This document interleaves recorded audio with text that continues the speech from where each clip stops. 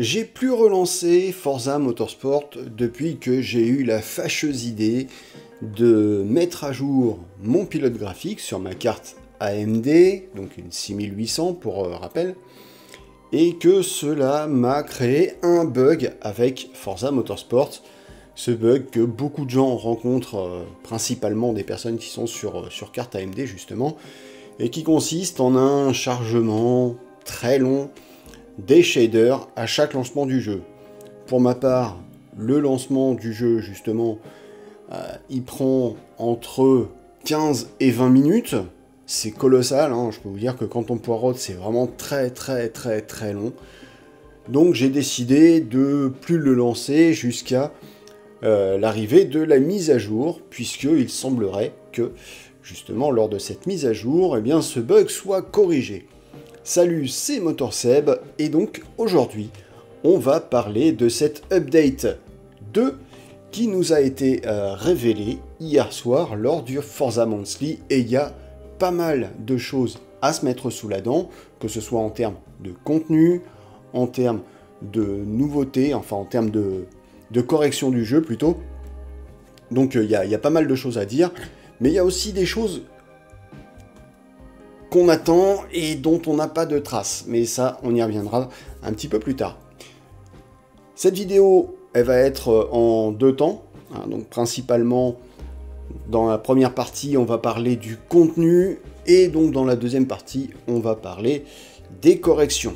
Et il y a matière à faire. Le contenu tout d'abord, eh ben là il est quand même euh, pas mal riche.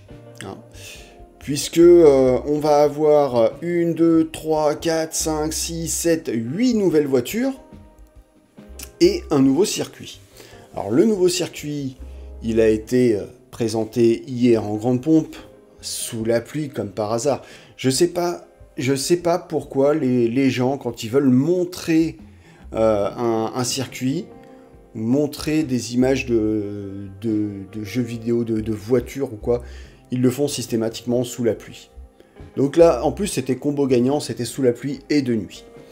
Donc il s'agit du circuit Yas Marina, qui était déjà présent dans Forza Motorsport 7, et qui donc, cette fois-ci, a reçu quelques corrections pour coller au tracé actuel.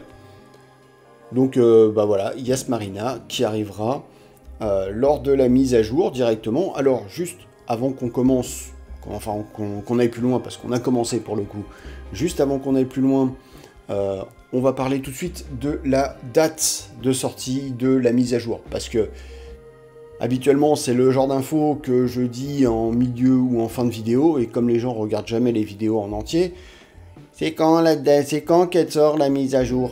Donc la mise à jour, elle sera téléchargeable à partir du 14 novembre et elle sera déployée le 16 novembre. Ok Donc 14 le téléchargement, le 16 le déploiement. Et d'ailleurs, bah, le 16, justement, ça correspond avec les, la sortie, enfin la, première des 5 semaines de, de courses solo en vedette qui mettront justement à l'honneur euh, de nouvelles voitures. Donc les pour rappel, hein, les courses en vedette, eh bien, c'est ces courses solo qui euh, changent chaque euh, semaine et qui permettent d'avoir un mode solo qui se renouvelle constamment. Chose qu'a reprise Grand Turismo 7 dans sa mise à jour Spec 2 et c'est pas un mal. Donc, revenons à euh, Forza Motorsport puisque c'est ce qui nous intéresse. Avec donc, comme je le disais, un nouveau circuit, mais également avec 1, 2, 3, 4, 5, 6, 7, 8 nouvelles voitures. Je vais y arriver. Euh, que je vais vous citer tout de suite. Alors les mises à jour, elles seront, enfin les, voitures, pardon, elles seront, euh, je ne sais pas si elles seront toutes disponibles d'un coup ou si elles seront, euh, si elles sortiront semaine après semaine. Ça, on verra. Je ne sais pas du tout. Hein. On va donc avoir dans l'ordre la Aston Martin V12, Vantage S de 2013, la Lamborghini Aventador Super Veloce de 2016, la Mazda MX-5 Cup de 2017, la Bugatti Veyron Supersport de 2011, la Saline S7 LM de 2017, la Spagna GTA Spano de 2016, la MG euh, MG6 X-Power de 2020, oh, ça ressemble à une électrique ça, et enfin la Gordon Murray Automotive T50 de 2022. Donc euh, il y, a pas mal de, nouveaux matos. On verra ce qu'il en est. J'espère que la modélisation euh, sera pas euh, aussi catastrophique que certaines voitures qu'on a dans le jeu. Hein. D'ailleurs, on, reparlera de ça un petit peu après. Hein. Donc, voilà pour ce qui est du circuit, voilà pour ce qui est des voitures. Bien entendu, il y a aussi le Carpass.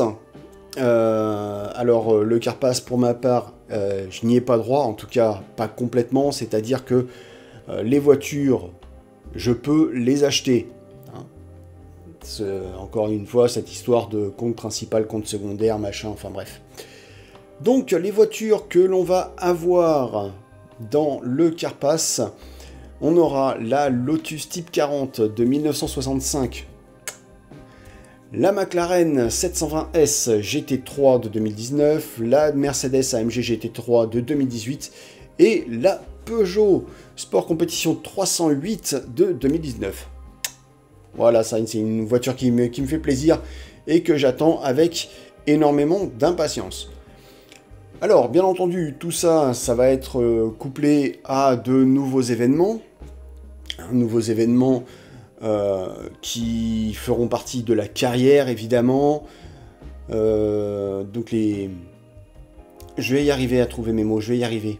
Non, c'est parce que c'est tout en anglais, en fait, c'est chiant. C'est chiant. Je suis pas une quiche en anglais, loin de là, mais quand j'essaye de traduire en même temps... Enfin bref, bref, bref, bref, je m'égare, comme souvent. Donc, les courses en vedette, voilà, qui mettront à l'avant en lumière donc ces nouvelles voitures et donc les voitures du, du Carpass qui seront euh, lâchées semaine après semaine euh, durant tout le mois de novembre, enfin de mi-novembre à mi-décembre. Voilà, donc ça c'est pour ce qui est du contenu. Et donc on en arrive aux choses sérieuses, ce sont les corrections du jeu. Et là il y a des choses quand même euh, qui sont à saluer, et puis il y a d'autres choses euh, que l'on attend et dont on n'a aucune nouvelle. Et on va commencer par ça justement, c'est euh, pour les joueurs PC, les corrections de graphisme. On sait pas. Ça, on sait pas s'il va y avoir une amélioration ou non, parce que clairement, hein, moi j'ai, je pense que comme beaucoup de monde, on a vu des, captures issus de Xbox Series X, et quand on compare aux captures du PC, et on se rend compte qu'on n'a pas du tout, du tout le même jeu. Donc, de ce côté-là, malheureusement, on n'a pas de news, donc on espère que ça fait partie des 200 correctifs que, euh, va appliquer à Forza Motorsports. Hein, malheureusement, ils n'ont pas listé la totalité de ces 200 correctifs dans le, futur changelog, même si euh, le, changelog n'est pas encore euh, sorti, mais ils n'ont pas, pas donné la liste complète des améliorations, ils ont donné les principales, donc on espère, on espère, on croise les doigts pour qu'il y ait une amélioration au niveau des graphismes sur PC. Donc, je vais vous citer quelques-uns des points les plus importants, à mon sens, de cette mise à jour mais euh, je vous mets euh, à l'écran, bien entendu, euh, tout ce qui a été dit lors de ce Forza Monthly. Donc on va avoir des améliorations au niveau de la stabilité du jeu. Sans plus de précision, on ne sait pas si ça concerne PC, console ou les deux. J'imagine que ça concerne les deux, on verra bien. on va avoir des, des correction au niveau de l'aspect de certaines peintures, notamment la peinture noire euh, qui apparaissait grise au lieu de noir, etc. Euh, on va avoir justement bah, une correction de ce bug sur les cartes AMD hein, qui, fait un, chargement de, des shaders à chaque lancement du jeu et qui nous fait des, des temps de chargement infinis, c'est juste, c'est juste ignoble. Donc ça, c'est vraiment une bonne chose. on va avoir également la correction d'un bug qui provoque un crash du jeu si jamais on a des, des, écouteurs qui sont branchés sur le panneau avant de l'ordi ou de la... Oui, de l'ordi, oui, d'ailleurs, de l'ordi uniquement. Euh, des améliorations sur le matchmaking, sur le matchmaking en multiplayer. Euh, on va avoir également... Euh, quoi d'autre? Ah oui, bien sûr, oui. Ce fameux bug des replays euh, multi qui ne fonctionnait pas, hein, donc avec les voitures qui restaient sur place indéfiniment. A priori, c'est euh, corrigé. Et on va voir également une, petite amélioration sur l'écran LED des, du, volant T248 qui affiche maintenant la position du joueur en course. Voilà. Alors bien entendu, il y a d'autres d'autres corrections hein, qui sont, à mon sens, des corrections mineures. Euh, là aussi, euh, bien entendu, c'est mon avis à moi. Peut-être que c'est plus important pour vous. Je vous laisse une nouvelle fois euh, la liste. Vous avez le lien de l'article de blog en description. Si jamais vous ne parlez pas anglais, un petit coup de Google Trad, ça fait le taf. Voilà. Mais donc, aucune trace, malheureusement, euh, d'éventuelles améliorations graphiques sur PC, et Dieu sait que le jeu en a besoin. Alors, lorsqu'on est en jeu et qu'on voit pas la voiture, ça va. Hein. Mais dès qu'on voit notre voiture, j'ai fait plusieurs expériences où vraiment c'était pas glorieux du tout. Donc j'espère vraiment que ça va s'améliorer de ce côté-là. On aura peut-être la surprise le 16 novembre lorsque sortira donc cette mise à jour euh, numéro 2. Voilà. Voilà pour ce qui est des news, donc a priori une grosse mise à jour. Une nouvelle fois, le jeu en a quand même euh, sacrément besoin. N'hésitez pas à me dire ce que vous en pensez en commentaire. N'oubliez pas non plus de vous abonner, d'activer la cloche, le petit like de l'amour qui fait super plaisir.